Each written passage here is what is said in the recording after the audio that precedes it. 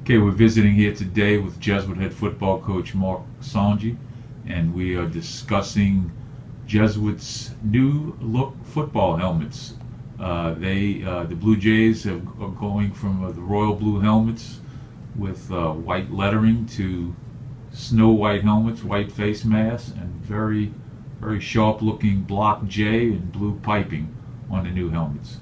Uh, Mark, first of all, take us with through the uh, the background of how y'all came to this uh, decision. It's something I always wanted to do. Uh, this seemed to be the right time uh, to do it with the number of helmets we had to go out and, and replace uh, after last year.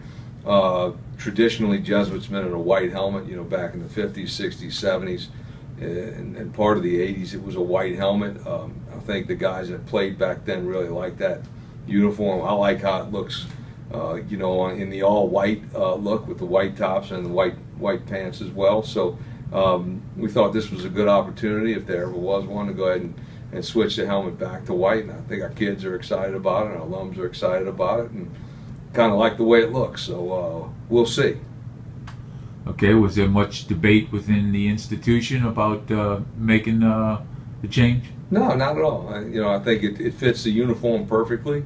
Uh, not that the blue helmets did didn't. Uh, they certainly did. It, it looked nice, uh, but uh, it, it just goes with the with the uh, with the whole uniform and the traditional look, and and, and we like it. We, no, everybody was on board with it. Does uh, does it represent any kind of at least early on maybe a a plus emotionally? I mean, you know, new look, dress no. sharp, look sharp, feel sharp, play sharp.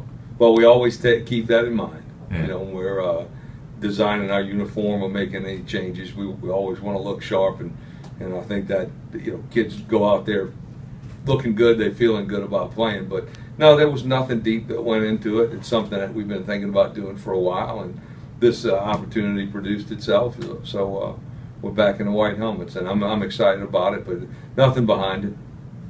Uh, one last question. I'm just realizing I'd be remiss.